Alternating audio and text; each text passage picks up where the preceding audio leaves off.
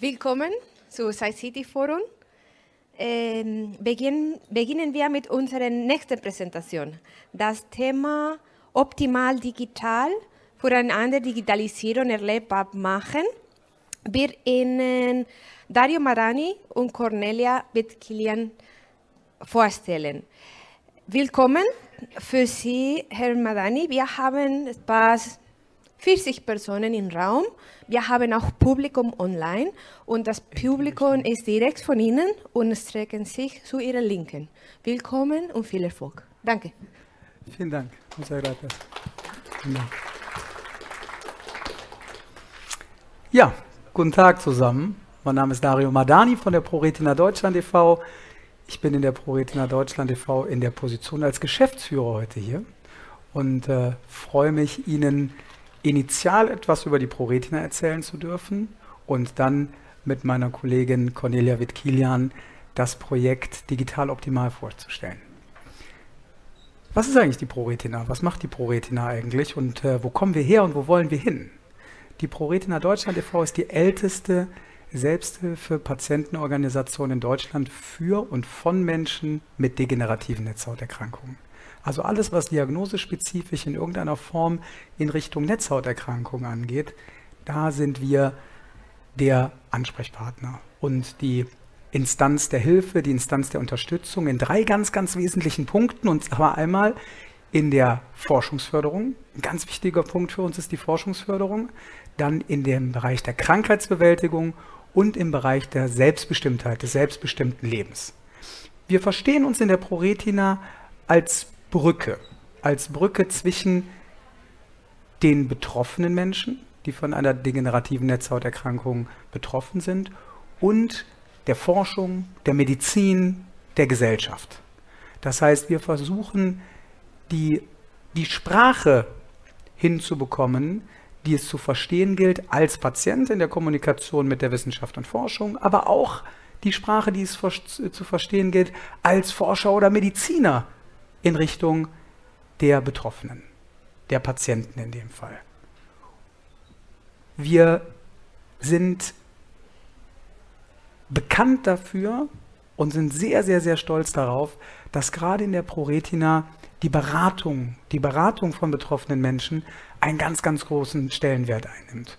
Nicht nur diagnosespezifische Beratungen, sondern auch Beratungen im Bereich der Hilfsmittel, Sozialberatungen, Beratungen in ganz vielen verschiedenen Aspekten und Facetten. Und nicht zuletzt deswegen haben wir uns dazu entschieden, ein neues Beratungskonzept mit bei uns aufzunehmen, eine neue Beratungsstruktur aufzubauen, und zwar die Beratung für digitale Bedarfe. Digitalisierung ist ein Thema, das uns jeden Tag begegnet, jeden Tag begleitet. Und auch für mich als vollblinden Menschen ist Digitalisierung leider nicht barrierefrei. Wir hören immer wieder, Digitalisierung muss barrierefrei sein und Digitalisierung wird barrierefrei. Und das ist richtig und das ist wichtig. Aber Digitalisierung ist noch lange nicht so barrierefrei, wie wir mit unseren Bedarfen diese Digitalisierung gerne hätten und sie auch tatsächlich brauchen. Und viele, viele Schwierigkeiten in der digitalen Barrierefreiheit bestehen natürlich im Backend, sprich in der Programmierung, in der Übernahme von, von Firmen, gerade auch im privaten Sektor oder im wirtschaftlichen Sektor, in Bezug auf die Anpassung barrierefreier Inhalte. Aber eine Barriere kann auch sein, dass wir die tollsten Produkte haben, die wertvollsten Produkte haben, die bestfunktionierendsten Produkte haben und vielleicht auch die teuersten Produkte haben aber wir können schlicht und ergreifend nicht damit umgehen, weil wir niemanden haben, der uns erklärt, wie es geht. Und wenn wir Leute haben, die uns erklären, wie es geht, haben viele, viele, viele Umfragen bei uns ergeben, dass diese Dienstleistungen, wertungsfrei von mir jetzt, hochpreisig sind. Und nicht jeder Mensch kann sich diese hochpreisigen Dienstleistungen einkaufen oder hat den Zugang zu Fördermöglichkeiten für diese Dienstleistungen. Wir haben Umfragen gemacht bei uns in der Mitgliedschaft und haben festgestellt, hier ist ein Bedarf, den wir für unsere Mitglieder und darüber hinaus gerne befriedigen und decken möchten. Und so sind wir dazu gekommen, dank der Unterstützung durch die Krankenkasse KKH ein Digitalisierungsprojekt ins Leben zu rufen, das optimal digital heißt. Und was wir dort tun, ist, wir bilden Berater und Beraterinnen aus auf einer sehr, sehr, sehr guten und sehr professionellen Ebene, um im Ehrenamt, auf ehrenamtlicher Basis, unseren Mitgliedern eine Hilfestellung anzubieten. Und das über unser schon lang bewährtes Beraterkonzept, Beraterinnenkonzept. Und wir haben eine extrem hohe Resonanz von Beratenden bekommen und eine ganz, ganz, ganz große Resonanz von Ratsuchenden, die gesagt haben, Mensch, das brauchen wir. Wir brauchen eine niedrigschwellige Beratung, ein niedrigschwelliges Beratungsangebot von Experten in eigener Sache. Von Betroffenen für Betroffene. Weil, ich meine, jeder von Ihnen, der dort sitzt, genauso wie ich, weiß, wie das ist, wenn man mit jemandem zusammenarbeitet, als sehr eingeschränkter blinder Mensch, der sagt, ja, da musst du da oben links klicken. Ja, nur das oben links bringt mir nichts. Äh, weil oben links ist für mich genau wie wenn jemand zu mir sagt, ach, du musst nur geradeaus laufen. Ja, nur geradeaus ist immer schwierig. Und so haben wir ein tolles Beratungskonzept entwickelt, über das meine Kollegin Frau Witt-Kilian jetzt gleich noch im Detail erzählen wird. Und wir freuen uns darüber, Ihnen das heute vorstellen zu dürfen.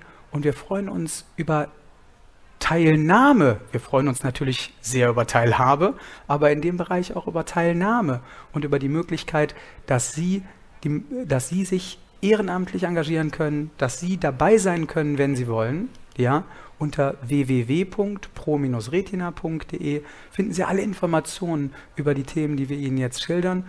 Und damit würde ich auch ganz gerne abgeben an dich, liebe Cornelia, dass du nochmal im Detail erklärst, worum es ja eigentlich geht, warum wir eigentlich hier sind. Und ähm, im Nachgang unseres Vortrags würde ich mich über viele Fragen von Ihnen sehr freuen. Bis hierhin, Dankeschön.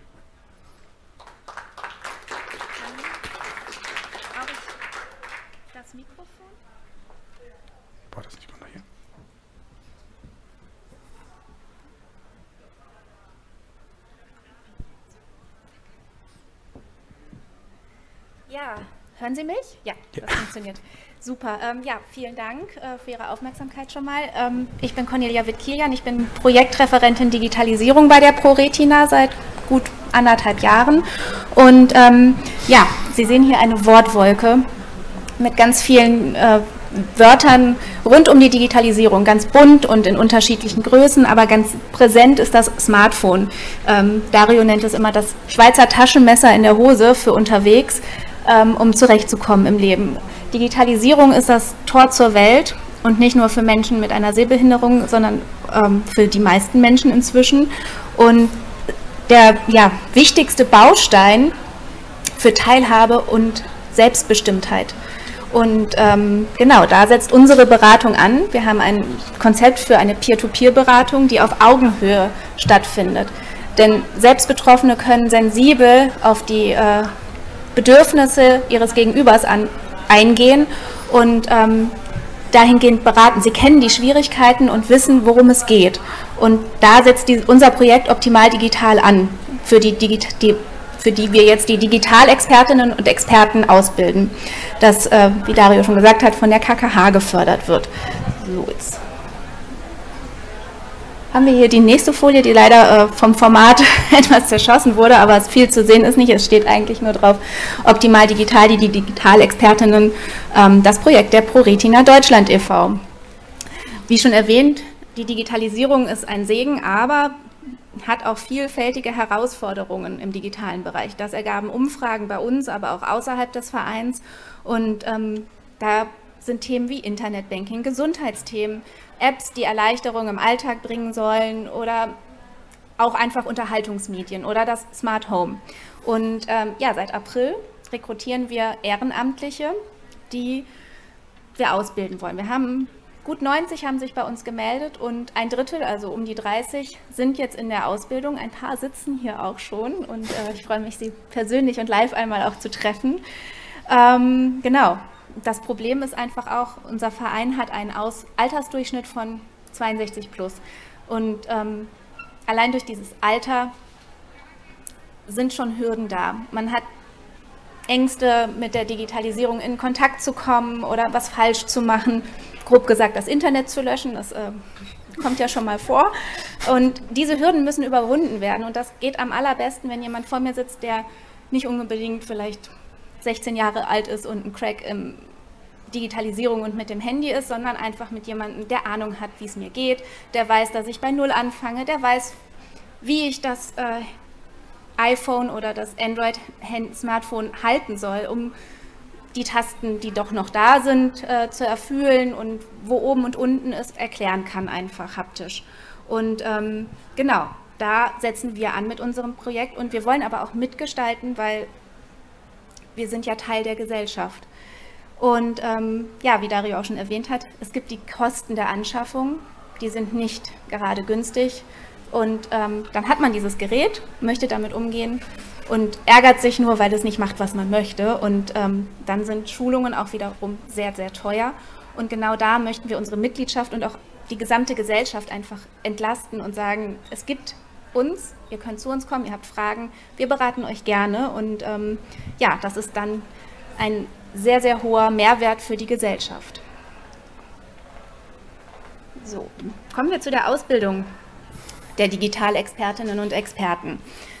Wie schon erwähnt, ist die Ausbildung in mehrere Bereiche gegliedert. Es gibt zum einen die bereits seit sehr langer Zeit bestehenden internen Ausbildungen zu den Vereinsstrukturen, zur Kommunikation und zu den diversen Krankheitsbildern, sodass die Digitalexpertinnen und Experten sich auch innerhalb des Vereins zurecht also auskennen einfach und wissen, wo sie äh, wen finden, weil es gibt ja nicht nur digitale Fragen. Manchmal muss man auch mal an, an, jemand anders verweisen, der vielleicht zu sozialen Themen oder Krankheitsthemen beraten kann. Und so wissen sie einfach, was, was es gibt von den Strukturen her bei uns. Und ähm, ja, zur Kommunikation, auch digitale Themen sind sehr emotional. Ich sage nur, dass die FaceTime äh, mit, dem, mit den Enkeln, die dann wieder stattfinden kann, ist äh, wahrscheinlich ein sehr, sehr emotionales Thema. Und ähm, diese Erweiterung möchten wir sehr gerne bieten. Und aber wenn es so emotional wird, müssen unsere Digitalexpertinnen und Experten einfach auch geschult in der Kommunikation sein. Und da sind wir ähm, sehr dankbar, dass wir eine sehr, sehr gute Ausbildung dazu auch anbieten können. Dann gibt es gleichzeitig auch die Schulungen, die extern angeboten werden und zu den verschiedensten Themen. Also da haben wir die elektronische Gesundheitsakte, das iPhone, Office-Anwendungen, Android und vieles mehr. Und dabei haben wir mehrere Partner. Zum einen das äh, Kundig-Programm, klug und digital durch das Gesundheitswesen, ähm, wo auch gerade einige Digitalexpertinnen und Experten in der äh, Ausbildung sind, um das dann wiederum in unserem Verein weitergeben zu können. Dann haben wir den, ähm, das BFW Würzburg, wo sämtliche Office-Anwendungen barrierefrei Menschen mit einer Sehbehinderung ähm, vermittelt werden. Da hat man dann, ähm, da meldet man sich an, und hat dann 60 Tage, 60 Kalendertage Zugriff, soweit ich weiß, ähm, auf die ganzen Schulungsmaterialien und kann sich da in seinem Tempo weiterbilden. Dann gibt es den Digitalkompass, der wiederum ähm, die aller verschiedensten Themenbereiche abbildet. Da geht es um die Gesundheitsakte, da geht es auch um, um, um Phishing, um KI, um Social Media. Alle möglichen Themen werden dort abgebildet und den Leuten ähm, ja, dargeboten, sodass sie sich weiterbilden können. Ähm, genau, und dann hatten wir auch schon eine sehr, sehr schöne Schulung von der Blister von Oliver Nadig, der heute auch äh, hier rumschwirrt, falls Sie ihn finden, und ähm, die sehr, sehr gut ankam. Es geht einfach darum, digitale Themen lassen sich nicht einfach so erklären. Man muss sie auch anfassen können. Und dazu müssen unsere Digitalexpertinnen und Experten einfach wissen, derjenige hat ein iPhone in der Hand, okay, da befindet sich der An- und Ausknopf oben rechts oder unten links, wo auch immer. Auf jeden Fall muss das beschrieben werden, damit derjenige, der das, das Gerät in der Hand hält, einfach weiß, wo oben und unten ist, damit man überhaupt mit der Schulung beginnen kann.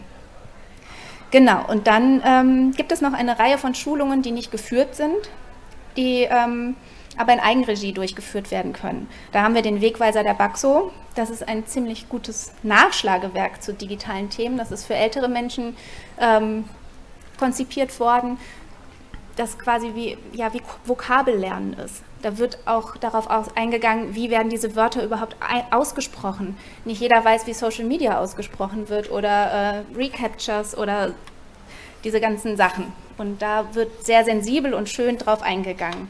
Dann haben wir noch den Webzeugkoffer des Paritätischen. Da sind viele barrierefreie Videos und Dokumente zu den verschiedensten Themen, auch wieder Social Media und Zoom, Kommunikation und soweit ich weiß auch äh, Office-Anwendungen. Also da wird man auf jeden Fall fündig. Und dann haben wir noch ein Lexikon, den DigiGuide der BAG, ähm, wo auch ganz viel erklärt wird. Und ähm, genau, diese Angebote sind, ähm, können die Digitalexpertinnen und Experten im eigenen Tempo durchführen und ähm, sich auch immer wieder weiterbilden. Denn Digitalisierung ist nicht statisch. Es, es, geht immer weiter und genau das ist auch das Problem unserer Zielgruppe.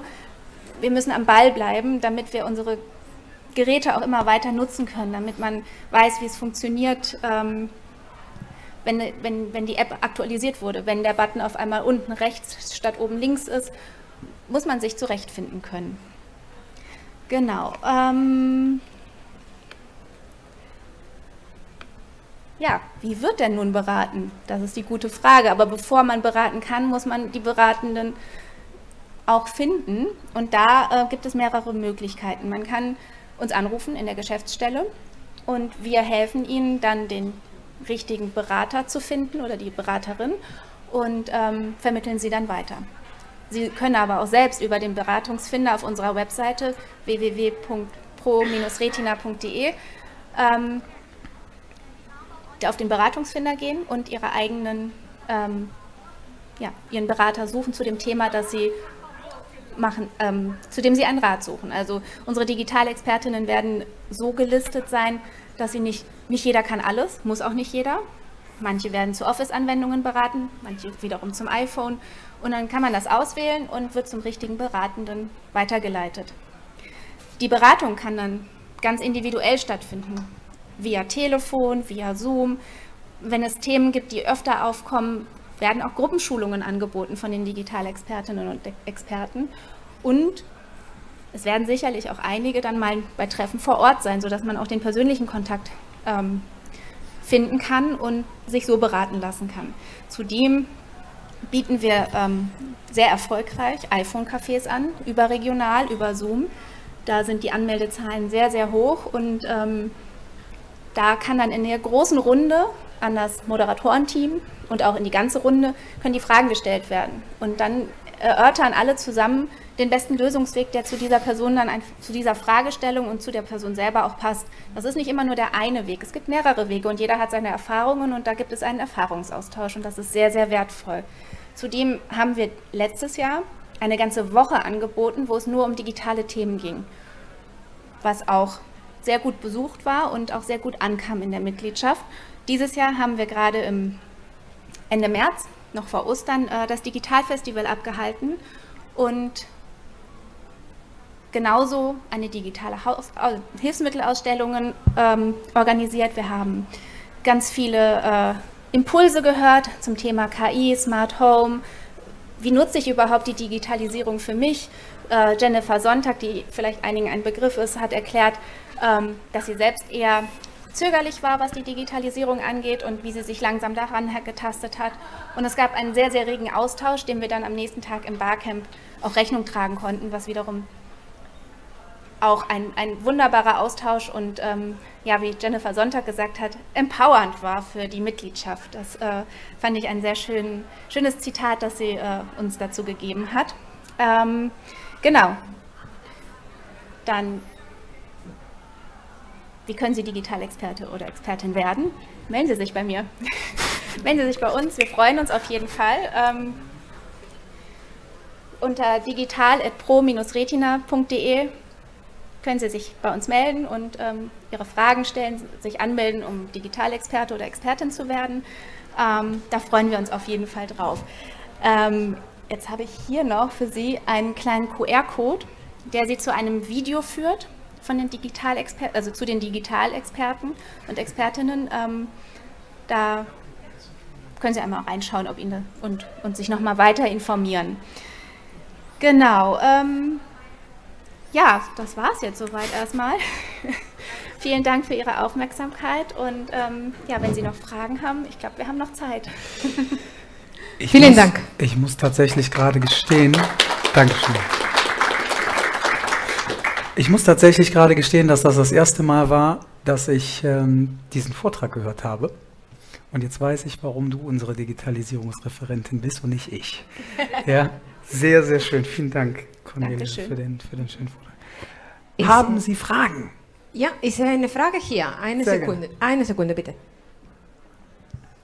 Ja, Steffen Beck, ich habe mich angemeldet zum Berater als Digitalexperte. Ich wollte mal fragen, dieses BFW-Angebot in Würzburg für die Office-Ausbildung, äh, nimmt das Rücksicht auf verschiedene Plattformen, also auf Mac- und Windows-Anwendungen, oder ist das dann nochmal eingeschränkt? Diese Frage also die Frage kann ich Ihnen leider nicht beantworten. Ich weiß nur, dass Sie eine E-Mail äh, dorthin schicken müssen, um sich anzumelden. Ich gehe davon aus, dass es eigentlich für alle Plattformen barrierefrei sein muss. Ich habe nur Gutes gehört über die Ausbildung und, ähm, und das ist schon möglich. Ich, Jetzt. Ja, Sie können sich dort anmelden. Gut, ich kann Ihnen auch, ähm, ich kann auch noch mal in die große Runde dann schreiben. Alles klar, danke. Sehr gerne.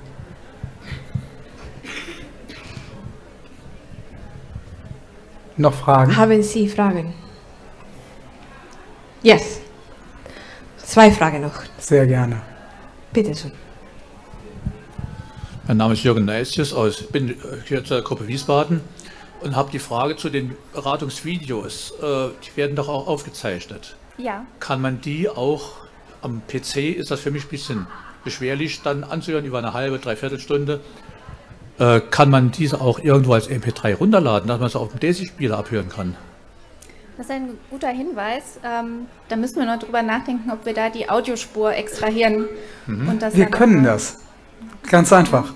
Wir können das, wir definitiv. Können das. Ist kein Problem. Ich habe gar nichts gesagt, wir können das. Ja, wir können das. Das ist ein super Tipp. Wir nehmen das einfach als ganz tollen Hinweis mit. Muss man erstmal drauf kommen. Vielen Dank dafür. Wir können das und wir machen das. Ja?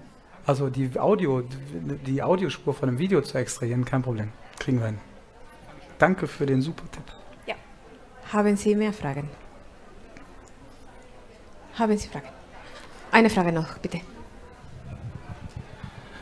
Guten Tag, Benjamin Weischer vom Bundesverwaltungsamt. Ähm, helfen Sie auch denjenigen, die ja, ähm, ich will jetzt mal sagen, die barrierefreie Produkte auch äh, für Bundesbürger dann herstellen wollen. Ja. Für uns, aus unserer Sicht, sind wir jetzt die Blinden, weil wir nämlich die Bedarfe und äh, die Belange überhaupt gar nicht erkennen können. Tun wir tatsächlich. Das heißt, wenn Sie Beratung brauchen im Bereich der Barrierefreiheit, und Barrierefreiheit ist ja ein riesengroßes Spektrum, nicht nur digitale Barrierefreiheit, Barrierefreiheit in Produkten, Barrierefreiheit im öffentlichen Verkehr, Barrierefreiheit im Haushalt, Barrierefreiheit überall. Ja? Wenn Sie da Beratung brauchen, wenden Sie sich gerne an uns. Ja, und wir setzen uns zusammen und gehen ganz genau darauf ein, wo Sie die Beratung brauchen. Und dann haben wir Experten in eigener Sache aus den eigenen Reihen, die wirklich jeden Tag mit den Themen zu tun haben und die auch extra dafür ausgebildet sind. Und wir bieten Ihnen dann Beratung an, damit Sie wiederum in dem Bereich, in dem Sie arbeiten, Barrierefreiheit gestalten können und umsetzen können. Wunderbar, vielen Dank. Sehr, sehr gern. Also wenn ich da sitzen würde, ich hätte tausend Fragen. Gerade Digitalisierung, ganz ehrlich, Digitalisierung nochmal, begegnet uns überall. Überall. Wo ist überall künstliche Intelligenz drin? Drei Leute. Irgendjemand ruft einfach rein. Drei Leute, künstliche Intelligenz. Wo begegnen wir künstlicher Intelligenz? Zahnbürste. Zahnbürste, perfekt. genau darauf wollte ich hinaus. Perfektes Beispiel. Hallo. Wo noch? Seeing AI würde ich sagen. Sas Sascha Mislewitsch aus Detmolten. Sascha, ich grüße dich. Ich hoffe, Hallo. dir geht's gut. Schön, dass du da Dankeschön. Das Sehr ist, ähm, ähm, Seeing AI beinhaltet künstliche Intelligenz. Wo noch? In Ampelsystemen sind sie jetzt hier in München tatsächlich am Testen irgendwo. Das ist, ja. aber ich habe ich hab, ich hab den Ort vergessen. Also grundsätzlich, in Straßenampeln begegnen wir. Wir setzen uns in ein Auto, in egal welches Auto heute, funktioniert mit künstlicher Intelligenz. Der Fahrspurassistenz ist künstliche Intelligenz. Der Zug, in dem wir alle fahren, weil ich fahre weniger Auto, zumindest weniger selber, als dass ich Zug fahre, künstliche Intelligenz. Flugzeug, Künstliche Intelligenz. Die Zahnbürste war das perfekte Beispiel. Künstliche Intelligenz. Der Fernseher, künstliche Intelligenz. Das Radio, künstliche Intelligenz. Digitalisierung ist um uns herum. Und wir als Betroffene, wir müssen darauf acht geben, dass die Digitalisierung nicht an uns vorbeifährt. Stagnation ist Rücklauf. Wenn wir stehen bleiben, fährt der Zug der Digitalisierung ohne uns weiter. Und das ist eine ganz große Gefahr. Das ist ein ganz, ganz, ganz großes Problem. Und egal, ob du zwölf bist oder ob du 25 bist oder ob du 40 bist oder ob du 80 bist oder 90.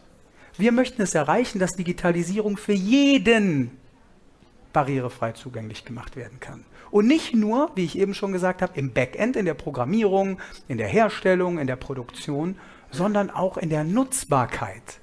Weil eine der größten Barrieren, die wir haben, vielleicht nimmt mir das jetzt jemand übel, wenn ich das sage, aber die größte Barriere, die wir haben, ist, ich kann das nicht.